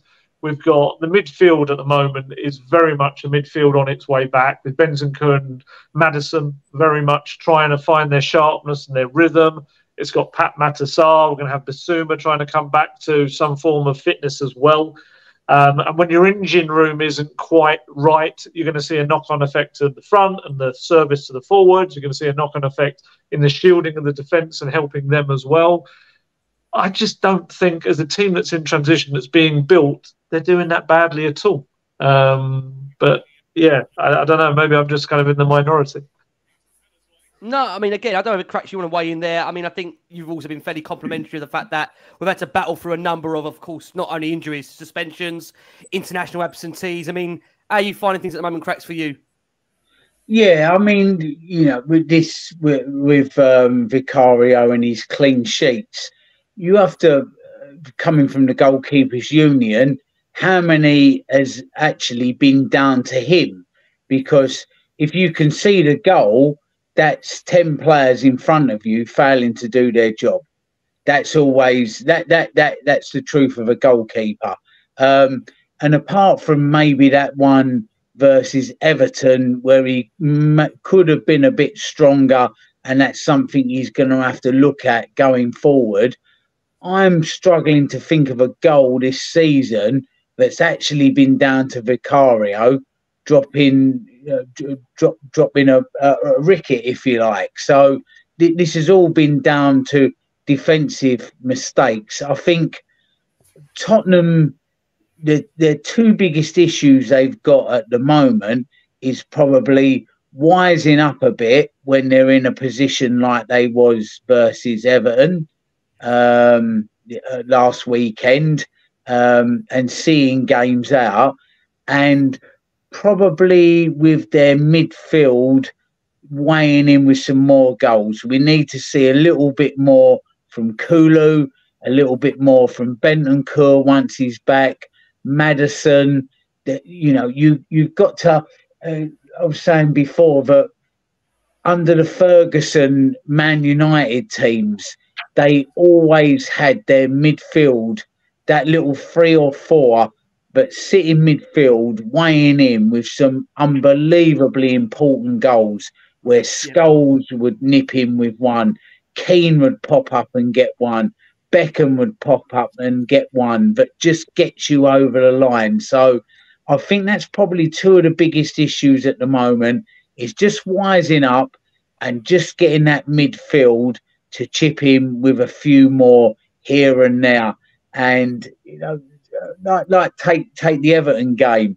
Um, if we see that out two one, then we're also right in it as in this conversation yeah. for, for, for the league. I mean, it was the, the coverage Spurs have been getting in, with regards to this title race versus Arsenal is night and day. But the, the, the fact is, we're really not that far off of them at all. Really not in the terms of points but no. we that we've got and how far we are into this Postecoglou uh, project. So, um, but these are all fixable things at the moment. You know, there's no glaring problems where you look at it and you go, I'm not really sure how we fix that. You know, these, these little things, managing our games and and the midfield, uh, chipping in with some goals, are all things that once Bentancur and Maddison is is literally a new uh, co- combo. So they're they're they're beginning to find their feet with how they play with each other because they haven't. Uh, was it? I think it was this game or the game before, wasn't it? The Brentford game. I think it was the first time that they played together, and we saw it with Sonny and Richie, where they just kept running across each other, f- fulfilling each other's roles. So, and that's something that began to settle down and they got a bit of an understanding. So partnerships in midfield, partnerships up front, partnerships in defence, they'll find their level. They'll they'll work out. You know, you go, I stay, I stay, you go. This mm. this will come. So there's not big big problems that need to be addressed, but it is just the little things that need ironing out at the moment at Spurs. And and if we get that right, then we're really in with a shout of, of doing something. Al, just on that case, in terms of problems, and there hasn't been many. And I mean, I think it's fair to say at the moment, Vicario is currently going for his biggest test as Spurs' goalkeeper at the moment. If I show you a couple of stills here from the Everton game that we were discussing over the weekend, obviously, clubs, teams have cottoned on to the fact since that Man City game that pressure Vicario, he's not the strongest in a battle when it comes to being able to defend the goal. Now, there's been obviously those old age arguments that obviously where is that line with relation to the fact of how far can you push it when it comes to the goalkeeper? Because for what it has been like the last two, three years, it feels like the referees have always played towards a goalkeeper's advantage. But it feels like in these last few weeks, Spurs aren't really getting those decisions. I personally, for me, like, I don't think now on reflection, these haven't been fouls in my opinion. I think clubs have taken it right to that very line, and Vicario could have been stronger in a couple of those incidents. So, where do you see it for you in terms of the pressure on Vicario now in goal? Because clubs are going to keep on doing this, right, until Spurs find that solution. Yeah, absolutely. They're going to target it. Of course, they are. Any little weakness that a team can see in their analysis, that they'll go for that. And and Everton, they lobbed that ball right under the crossbar every moment they could, whether it be a set piece, whether it be a cross. Ashley Young was putting loads of crosses into there. Uh, what I would say in, in terms of the kind of the, the, the foul element of it, I didn't think the Dias one against City was so much. I feel the Harrison one I felt was a better case for it, but obviously they never came to be. I felt with at least Dias, you could argue he was trying to head the ball. His eyes were kind of on that, whereas with Harrison, it was just a pure attempt to kind of knock away Vicario's legs as he was about to jump. My biggest thing about it, though, is is more than just Vicario. It's why hasn't he got someone protecting him? Why hasn't he got a minder type? Why isn't maybe Romero as the captain on the pitch right now? Why isn't he saying either myself or someone else?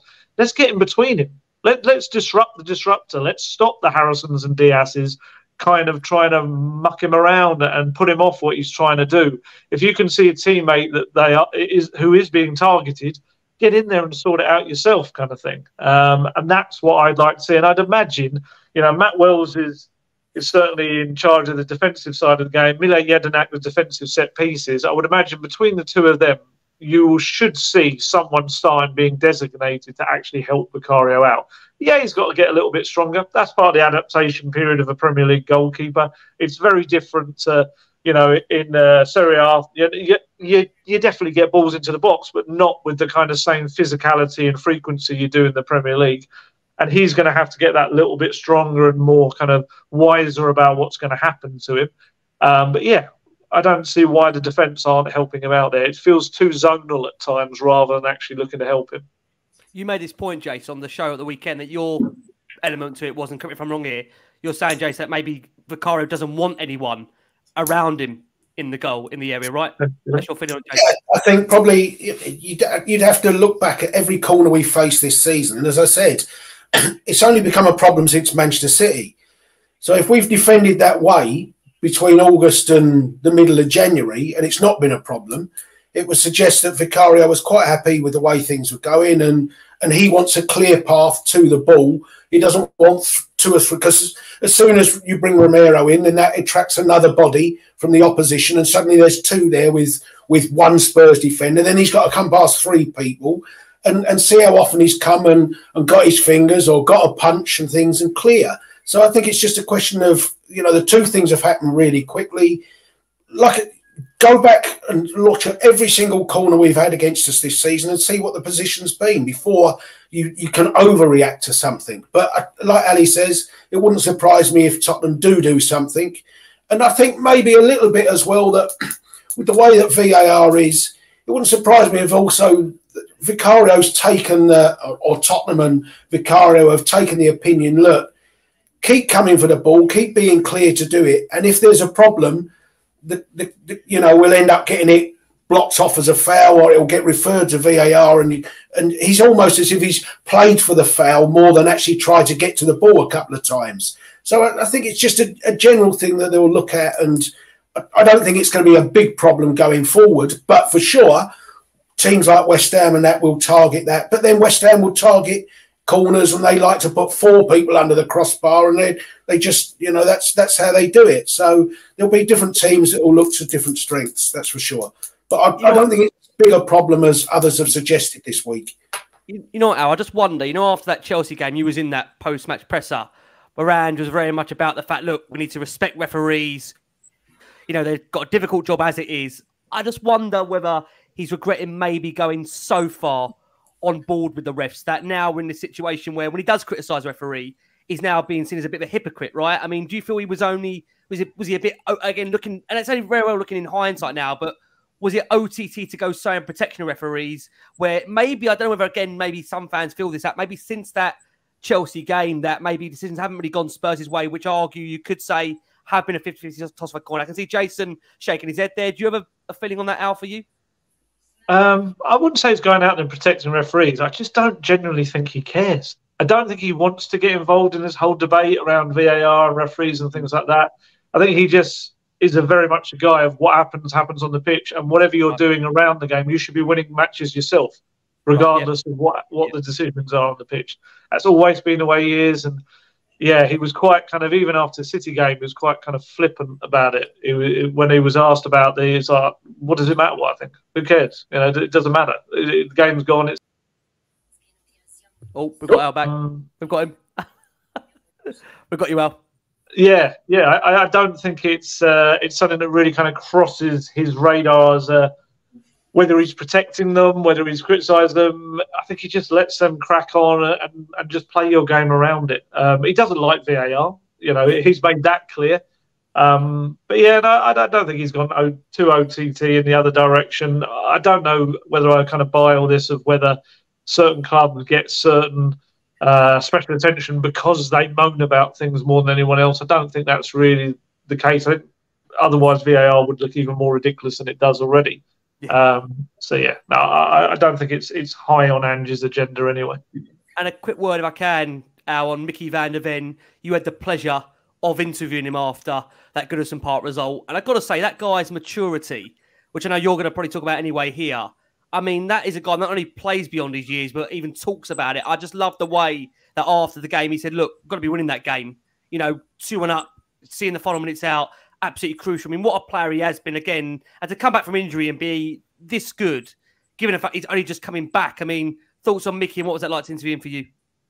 Yeah, he's fantastic. He's, uh, yeah, 22 years old. He speaks like he's a 32 year old. You know, he's just got so uh, so much wisdom, kind of beyond his years. He's a big lad as well. I don't think you kind of uh, realise that until I was standing right in front of him, just how tall he is. Um, and his pace is just remarkable. I saw that stat today, isn't it? Isn't he the fastest player in is it yeah. Premier League history or something? Mm. Uh, just incredible. Crazy, crazy. Yeah, he's I, for me, I think he's Spurs' best defender right now. I think he's just he honestly has been so consistent, and to come back from that period of time out and look like he's never been away is just remarkable. Um, yeah, he was angry after the game. He admitted he hadn't spoken to a soul in that dressing room. He was furious. He kind of went a little bit against or, or said the opposite to what um, Postecoglou said because I asked Postecoglou about the set pieces, uh, and he said because I said essentially, you know, you're a bit disappointed to concede from two set pieces when you know Everton are going to bring in set pieces and that's going to be their thing. And he was like, well, no, because they put in about 30 set pieces and only scored from two of them. Whereas Micky after the game was completely opposite. He was very much like, no, that's exactly what we prepared for, and that's it's really frustrating that they scored from two set pieces.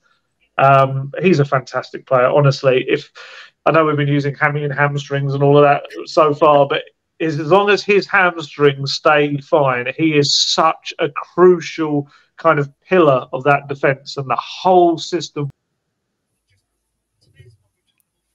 Uh, that is up again, I think. that, that that was Ange. That was Ange uh, doing that. Um, yeah, it, I, I, think he's a terrific player. Honestly, um, I said this before, but he kind of strikes me as a little bit of a cross between Jan Vertonghen and Ledley King. I think he's yeah. got kind of traits of both of those players. Yeah. Um, 22 years old, you know, get him tied down for a long-term future because he could be, you know, future captain as well. I think he's captain some of the previous sides he's been at, even that young. And the way he spoke to me after the game, um, everything of, of, what he said was leader. You know, just screamed leader. So um, yeah, terrific young player.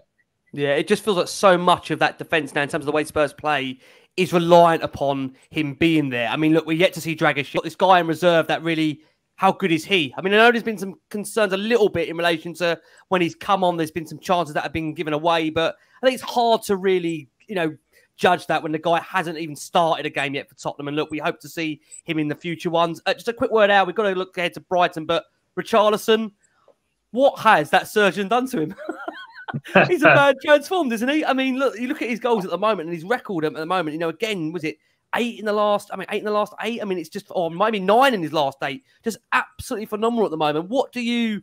I mean, what do you feel you're seeing there, with Richarlison? It's a completely different player. Is it all just down to the surgery? Is it confidence? Is it a combination of both? Yeah, all of the above. Um, you know, you can't kind of overstate having more confidence in your body as well to be able to do what you want it to do. We saw it with Sonny last season. You know, Sonny struggled because of the injury problems he was having, and I think uh, Richarlison getting free of that, uh, getting into a good kind of place, uh, I think in his head as well, and being happy and confident in what he's doing. Like you say, nine goals in uh, eight Premier League games. And you know, I love the fact that Sonny, before he went away, said like, "You've got to step up. You've got to do this." That other players might have shrunk with that kind of being put upon them. Richarlison's absolutely stepped up. He scored in every Premier League game since Sonny went away. Um, he's wow. he's just been superb for Spurs, and and I, I find it strange. Some people criticise his hold-up play. I think his hold-up play has been really good. I think he's battled for the ball.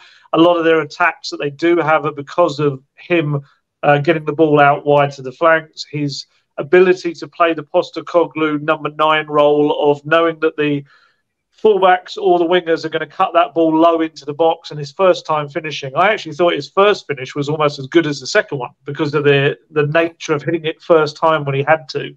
Mm-hmm. Um, yeah, he, has been excellent and uh, yeah, long may it continue. And I think when that midfield clicks and when it clicks with the wingers and you get Sonny back as well, hopefully this weekend, mm. um, I think Richarlison's goal output is just going to continue to increase. I wouldn't be shocked if he's uh, 20 goal uh, for this season or more, maybe even 25. You know what's funny? Again, you look at his ratio, Richardson. The nine goals in the last eight games. That's including nine coming from just 23 shots. You know, we. I think you, Jace, you always say how you know clinical Sonny is when you put him in front of goal one on one. But to be fair to Richie, it's not bad at all when you consider again. You look at the way he started the season and that lack of confidence. I mean, he's just a player at the moment on real prime form. I mean, given that I know again when you look at those stats, it's really hard for me to make a case to go out there and buy a 60 million pound striker. If he continues the run rate he's on, have Spurs, in your opinion, found their number nine? Have they found that new messiah to Harry Kane in Richie, or is it still far too early to say so? Yeah, it's been a very good run. Let's see kind of how he does to the rest of the season. I think either way, you probably need another experienced number nine to give him competition. Uh, as I said earlier, we'll see what happens with uh, Alejo Veliz and, and, how he does at Sevilla and whether he kicks on um, and whether he's ready yet for, for that kind of role. But no, I'd imagine Summer, uh, a striker will be kind of high up on their list, potentially maybe with a with a fullback or two as well. Um, but yeah, I think he's done terrifically. But it's uh, I think it's probably been his best goal scoring season in the Premier League for a while, if not complete. And I think it could end up being his best one since he arrived. Um, but yeah, let, us see how he does in the next 16 matches. Um, but I, yeah, I, I, still think he'll have more competition next year. I mean, I agree. We're going to go straight to Brighton to come for Tottenham on, of course, Saturday. Um, look, Brighton for me, it's one of those fixtures where I never feel comfortable about this game. Brighton, you just, I mean, again, we beat them last season under Stellini. Um, which I think I'm right in saying is this. The, I'm sure this is the game where Stellini let all that havoc revoke from the bench. Yes. what, I, what, I, loved about it is that, that that bloke was clearly just not looking what was going on. The absolute chaos cracks come over to you on that bench at a time when Stellini was almost like looking away from it and then got a red card for it, saying, What me? What did I do? I was I was away from it, cracks. He did, didn't he? He was just yeah. absolutely nothing to the innocent bystander in it all.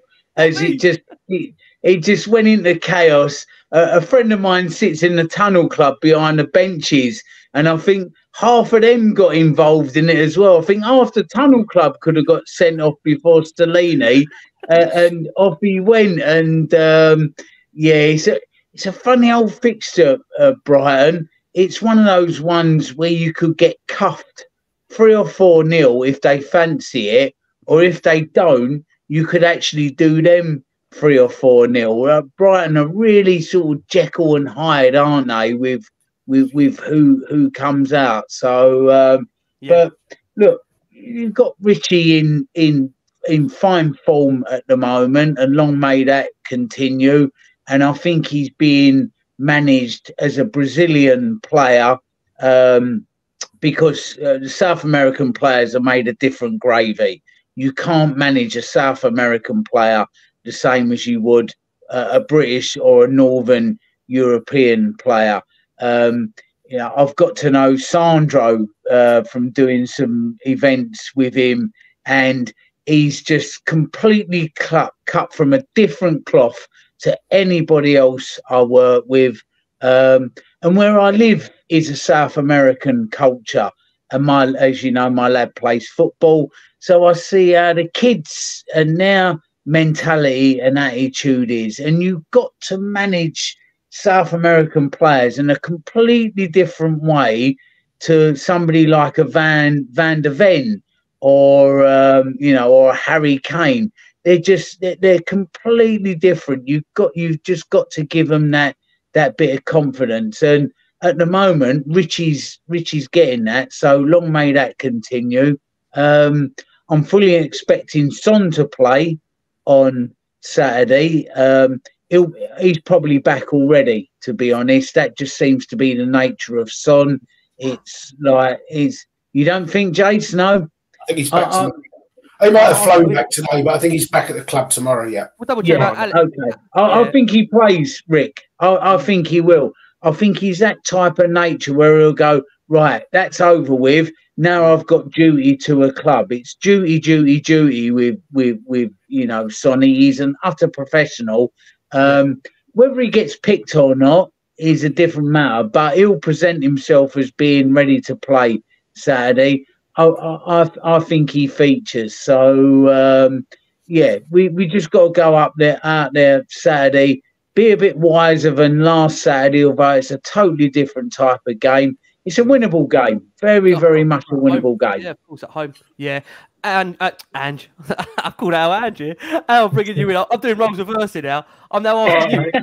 That's what I'm doing now. Now, Al, team news. Ange, team news. I'm asking Al now, team news. Um, give us an give us an update, and I'm doing it again here, Ange. Al, give us an update on team news ahead of this one if you don't if you don't think ahead of the game um, against Brighton. Yeah, as Jay said, Sonny will be back uh, Hotspur Way tomorrow. Um, I, am pretty sure he's he'll be back today in terms of in London, but uh, yeah, back at Hotspur Way tomorrow. I, I, don't know whether he'll start or not. I would imagine if he's even eighty percent fit and ready to start, then as your captain, bring him back in, and, and he probably wants to get that out of his system as well. What's happened this week to him? Yeah. Um, I, I, mean, I saw his Instagram post not long before we came on, and that, you know he's just absolutely devastated by everything, kind of the way they went out. Yeah. So I'd imagine getting straight back into football is probably something he'll want. Um, I'm trying to think elsewhere. I think Bissouma will certainly be in contention. He's back. Um, we've got to kind of see. Obviously, the Mali coach said that he tested uh, positive for malaria early in the tournament, so we've kind of got to see any lingering kind of after effects for him and, and, what that brings for him, whether you can throw him into a Premier League game with all the kind of the hustle and bustle of that for Bissouma. Um, and that's kind of your key players kind of all back in there and in, in, amongst it again. So uh, Brighton are going to be a they're a strange team to play. I mean, last seven games they've scored, I think, in four of them, four or more goals. Mm-hmm. But then they also, you know, went to Luton and got tonked four 0 as well. Um, and you've got De Zerbi talking about he's clearly not a happy bunny right now. He wasn't happy with the transfer window. And he's that kind of, well, as we saw in that game at the Tottenham Hotspur Stadium, he is a firecracker of a manager that can do anything in any situation. Mm. Um, yeah, Stellini. I remember I was sat in my, I'd got up to my press seat a little bit earlier and just watching him come out, and he just went at Stellini just absolutely went from him. Yeah. Stellini didn't even know what was happening. um, and then obviously we saw it kind of spill into the game in the second half as well. Yeah. So yeah, it, it could go either way. But I think this will probably be the strongest Spurs squad that Postecoglou will have had to pick from. Mm. Um, you know, it'd be the first time. Yeah, I think they're pretty much all together. Um, you know, whether he's got the likes of Lo Celso and Solomon, I don't know, and, and Cess, but otherwise, everyone that he would probably be picking in the starting 11 will be available to him. And that's going to make some really interesting decisions around the pitch as well. Yeah, I mean, again, we're getting early team news from Brighton coming through. They understand Kaoru Mitoma is back from uh, Japan due to of, of, the Asian Cup, so he'll potentially feature in this one. Uh, Simon Adingra remains at AFCON with Ivory Coast. Uh, Joel Veltman is a doubt going into this one, while Solly March, James Milner, and Julio Enciso are injured. Jace, very quickly for you, how do you see Brighton to come? It's difficult because you just don't know with Brighton. They, they are, I mean, they're, they're, perhaps the the best team that's been promoted for 10, 15 years, the way they've just come up. And, and in fairness, you know, Chrissy Hughton did a brilliant job, kept them up. And, and Potter did do a fantastic job at Brighton. They were playing some brilliant football under Graham Potter. And, and then De Zerbi's just taking it on. We saw them take us to pieces, didn't we? A couple of weeks ago. Absolutely take us to pieces to find the pass that just went straight through the middle of us every single time. And they they created so many chances that night that that four actually flattered us. It could have been could have been double figures that night. And yet there's there's times where they, they do struggle. Um, you know, I, I, think maybe I think the Luton one's a little bit of a strange one. Maybe they just got a little bit complacent at Luton, and Luton were what two 0 up in three minutes. I mean, that's that's yeah. a bizarre thing to not being funny, not being just because it's Luton. I mean, you don't expect Manchester City to be 2 0 up in three minutes against a team bottom of the league, do you? So it's it's it's rather strange one that. But um, I think you're right. We've got we've got pretty much now every single person back that we would want starting. As you say, people like Solomon and that would probably be on the bench anyway. So just that midfield, I, wonder what it will be. Whether whether Sarr Saab, Bentancur, Maddison will be the three, whether Højbjerg will, will miss out and that. I think it's just that getting that balance in midfield right, and then whether whether Sonny starts or comes off the bench, um, and, and in which case whose expense for, whether he's whether Kulusevski will keep his place and whether he'll end up in a front three of Richarlison, Werner, and Son. I'm not sure. The, the problem is, I think we, we need that right hand side to work. Brennan Johnson, I think, is the most naturally pacey one and the, the one that they'd really want on the right, but it's it's not quite delivered what we wanted yet. Kulu, we know, is the workhorse on the right, but you perhaps missed that little bit of pace. Um, Vert, I, I, I don't think they want to switch Son or Werner over to that hand side. So it's just interesting to see what they do with those those front three positions. But there's every chance we, you know, it's a home game. We we need to get back on the winning run, mate. We do. We've got a couple of quick fire final questions for Ali. Bless. We've kept Renee over an hour and 40 here. We're going to go straight to predictions. Let's get Ali's one out of the way so no one will remember Ali's prediction. So, Al, we'll start with you. No one will remember this. So, we'll start with Ali first. It might be a positive one. We're going for Al. Um, I'll go for 2 1 Spurs. Yeah. Joe, I'm actually always going for a 2 1. It's going to be tight. I think it will be one of those games. Again, Joe, we've not had too many that have allowed us to really be relaxed at Spurs, have we? We're not. I mean, it's all been nail biters at home. That Everton one was my god. Look about that Everton game. Well, Chelsea was it? I'm still getting therapy for that. The Chelsea one. Don't put us through that one. I tell you. Yeah, that one was conclusive. That one was conclusive. You've seen that story before, Jay. Said that movie. Cracks, we'll go to you, my man. What we going for prediction wise of Brighton? It will be more goals for us versus Brighton getting one because we always concede one. But I yeah. think we've got more than one in us. Whether that's two one, three one, or even even one all. But they they will score. Mm. But I, I think we, we we've got it in our locker to get two or three there on on okay. Saturday. Fine, right. And Jace, prediction for you from you? Tottenham win. Tottenham win. Okay, that's all we'll get from Jace. Right, we're going to close it on a couple of quick fire ones. Al, we've had a load come in, so I'm going to try and close it on these couple. Uh, Philly Steve says, Al, what's your take? Oh, going back to trophies again. what's your take on Spurs' trophy drought following our exit on the FA Cup? Should Spurs fans be hoping for top four, where we most likely won't win the Champions League, or maybe finishing in a Europa League or Conference League spot, as that will give us a more winnable chance of a trophy? No, I think you go for top four. I think you have to go for the top four. I mean, if you're going to look at it that way, then technically you could go out of the Champions League into Europa League next year or whatever, whatever way you want to do it.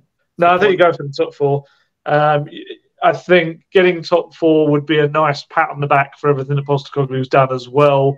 And yeah. then Champions League football next season would be kind of just be huge for a club that you know we kind of sometimes gloss over it. Lost their best player at the start of this oh. season. So to get back in the Champions League in the top four without, you know, Harry Kane and having to have rebuilt the squad, I, I think it'd be a massive building block. I think it would. Okay. Now, Al, you have to forgive me for this next one because I'm a paranoid wreck at the moment until that Liverpool job gets filled.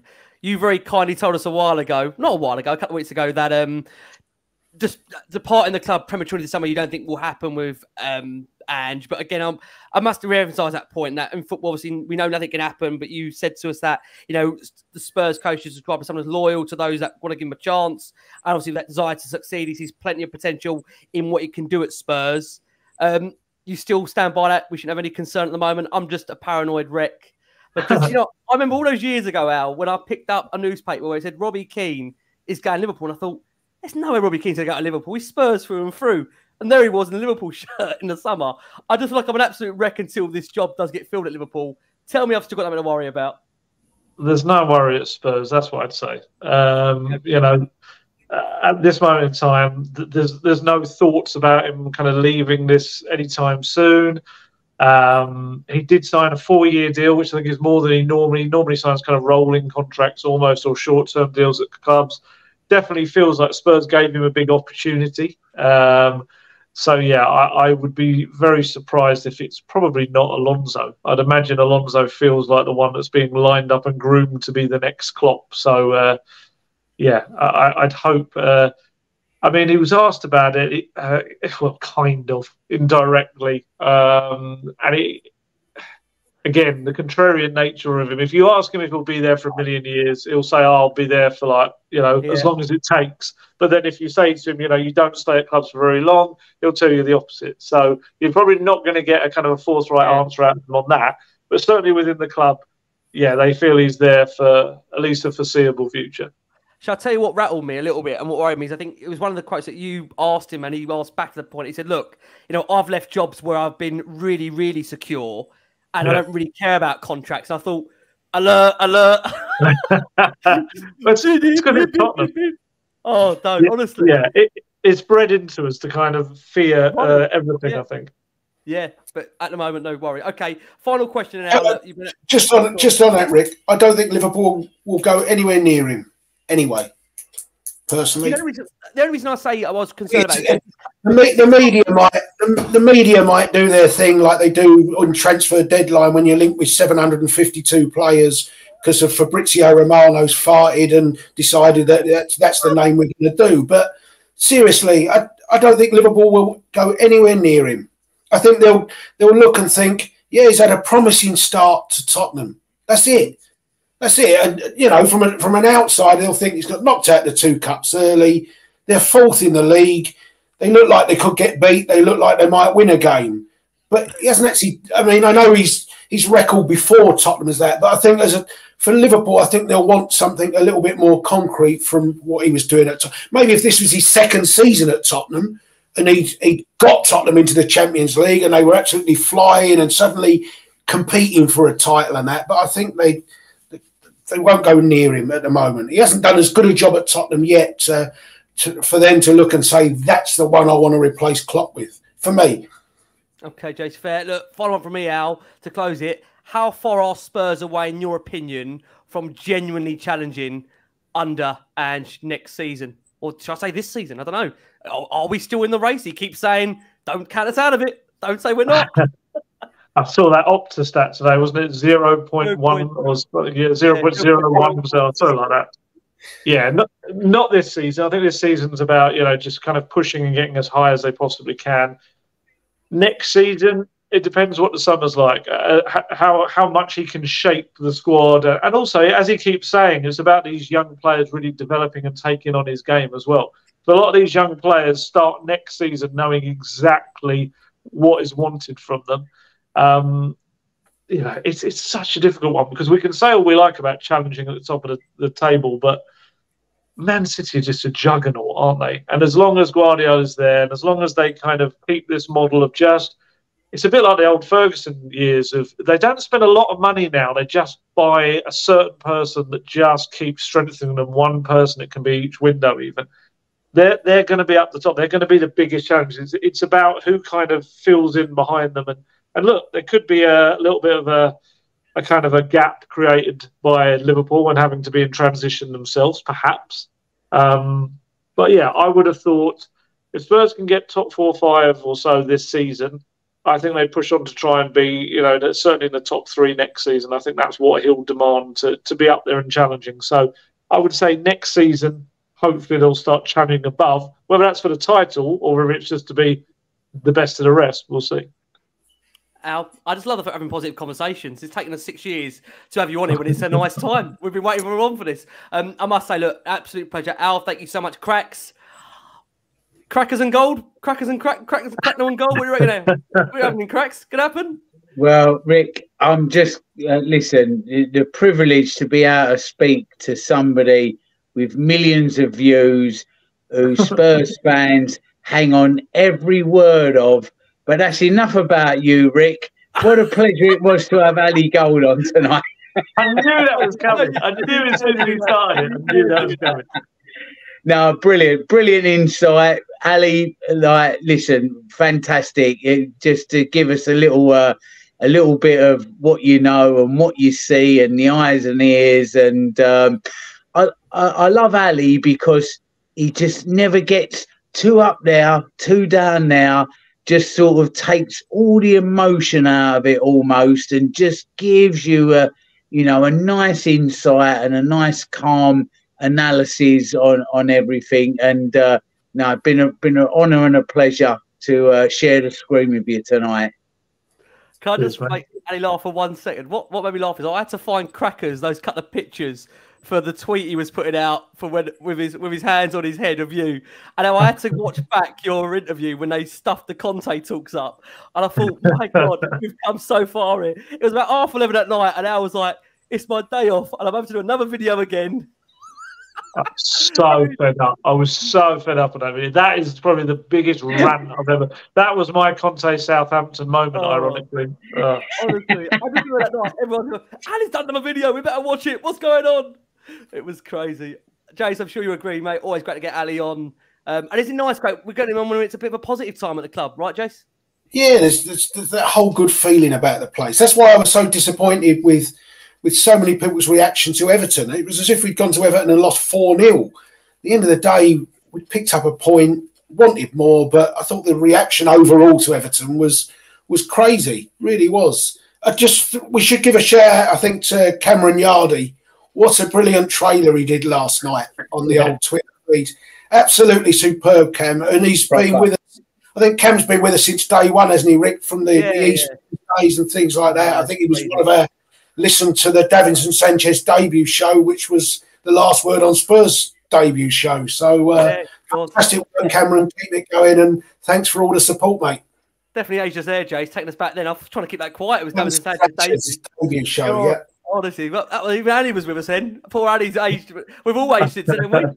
Tell you, honestly, it's been an absolute pleasure. Really, really. Al, they love you here. They always do. Uh, for those that don't know where to find you, that's probably the stupidest thing I've ever said. Where can people find you, Al, in regards to all things Tottenham?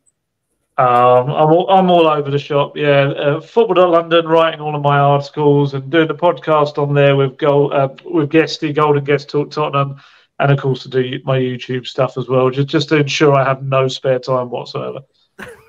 and British Gas can find you where? in the really cold house.